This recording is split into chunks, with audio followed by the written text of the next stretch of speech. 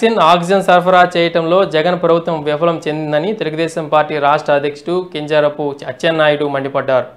ప్రతిపక్షాలపైన అక్రమ కేసులు మాని కరోనా నివారణ చర్యలపై శ్రద్ధ పెట్టాలని వ్యాక్సిన్ ఆక్సిజన్ మెడిసిన్ బెడ్స్ కొరత వెంటనే తీర్చాలని లేని పక్షంలో జగన్మోహన్ రెడ్డి సీఎం పదవి నుంచి తప్పుకోవాలని డిమాండ్ చేశారు.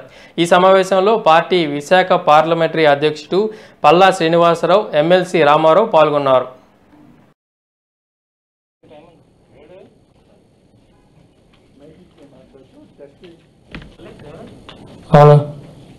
రాష్ట్ర ప్రభుత్వాలు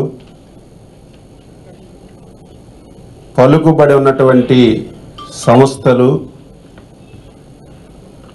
ప్రతి ఒక్కడు కూడా దేని మీద దృష్టి పెట్టాలంటే అన్ని పనులు మానుకొని కరోనా నియంత్రణమైన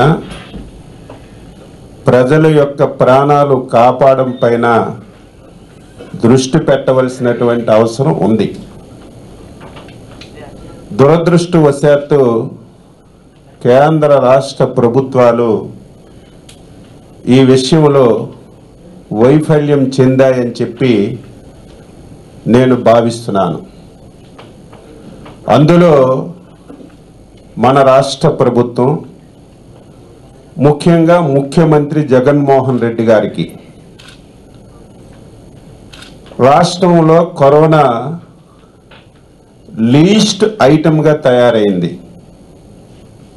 అందువల్లే ఇన్ని సమస్యలు రావడం ఇంతమంది ప్రాణాలు పోగొట్టుకోవడం జరిగిందని చెప్పి ఈ సందర్భంగా తెలియచేస్తున్నాను.